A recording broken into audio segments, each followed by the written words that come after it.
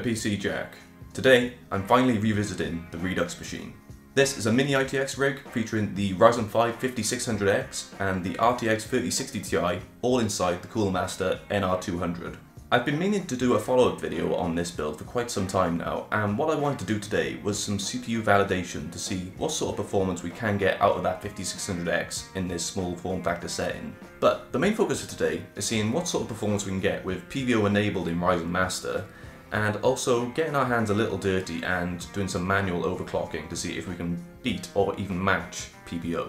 Now, I've been gaming with this system for a couple of weeks now, and the temperatures with the Noctua NH-U12S Redux have been really good so far, so I'm interested to see how much power this CPU cooler can actually handle.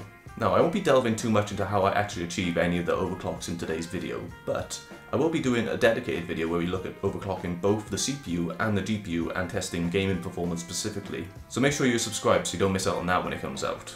A couple of things to address before we begin though. While you can overclock Ryzen 5000 series, with how well Precision Boost Overdrive works out of the box with boosting that CPU as high as it can, there's often very little uplift to be gained over that with a manual overclock. And this can mean you, you can sometimes get better multi-threaded performance with an overclock, but you will miss out on single-threaded performance and see some degradation. And this can also come at a cost of higher temperatures and power consumption. So while I don't expect I'll keep any of the settings for this overclock we're going to try and figure out today, it's still useful to know in order for me to validate the actual quality of the 5600X that I received, and should indicate if it's been well binned or not. But either way, it should still make for an interesting experiment to see whether a manual overclock is actually able to beat PBO.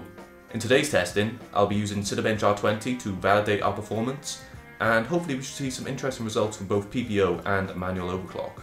Okay, so I've just finished testing with just PBO enabled in Ryzen Master, and with just that enabled, we're seeing so far 4,441 points for multi-core, and then we're also seeing 598 points for single core. And I've been using Hardware Info 64 just to monitor our stats for our CPU, and we were seeing 4.5 GHz across all 6 cores when we were doing the multi-threaded test. And on single threaded, we were seeing up to 4.6 GHz.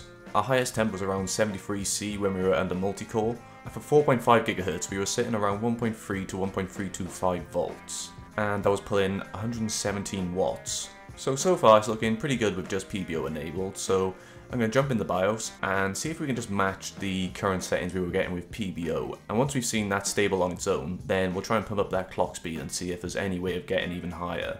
So I'm in the BIOS and I've just dialed in the overclock I'm going to start out with.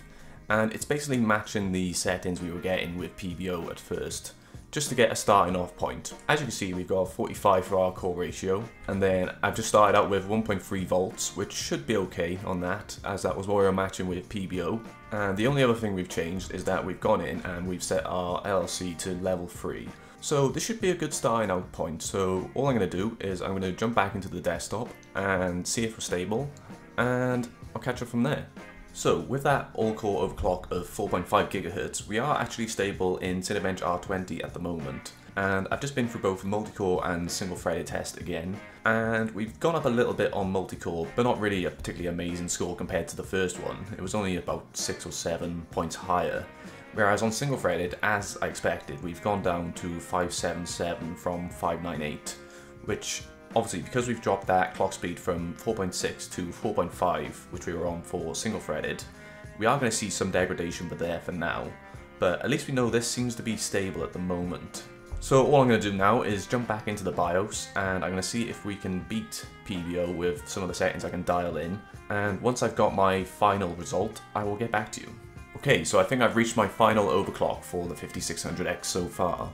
I've managed to achieve an overclock at 4.8 GHz at 1.325 volts, and we've got a multi-threaded score of 4705 points, and for single-threaded we've got up to 618 points. So, for today I have actually managed to beat PBO, and if we take a look at our stats for the CPU, we can see that we were hitting around 72.9C, which is pretty much what we were seeing within margin of what we had with PBO enabled.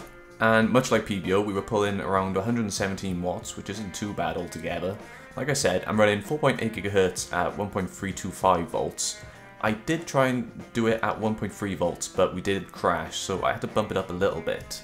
Now, there could potentially be some more performance on the table for this, but for now, like I said, we've beaten our original score, so I'm quite happy with that so far, so I think we'll call it a day on that.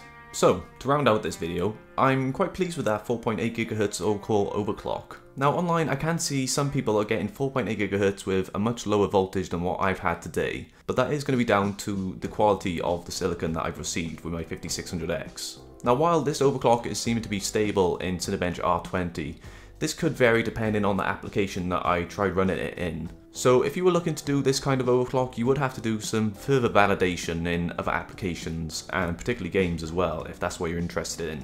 Now, I should say beforehand, I haven't gone into too much detail about how to actually overclock on your Ryzen 5 5600X, but if you are going to be doing it, just be wary that you will void your warranty, that's all. But if you stick within safe limits, then you should be okay, but make sure to do your research and fully understand what you're getting into. If you are interested in learning a bit more about how I achieved this overclock, I will be doing a follow-up video where I look at overclocking both the CPU and the GPU and see what sort of performance gains we can get in games, if any. In games, you could see particularly low uplifts, which obviously isn't ideal considering the increased power you are going to be driving into that CPU. But for today, I'm quite pleased with the results that I've had, and it gives me some further validation for what kind of quality 5600X that I've received. And also, it's given me quite a bit of insight into how much power this Noctua NH-U12S Redux can actually handle, with a 4.8 GHz overclock across all 6 cores. For a budget cooler, I'd say that's pretty good going. I really enjoyed getting into some overclocking today, it's been quite some time since I've done some CPU overclocking, so hopefully I'll get to do a bit more very soon. So, that's it for today's video. Have you tried overclocking any Ryzen 5000 series CPUs yet? If you have, let me know how you got on in the comments below. If you enjoyed this video, then please feel free to like and subscribe for more videos on the way soon. Thank you. I'll see you next time.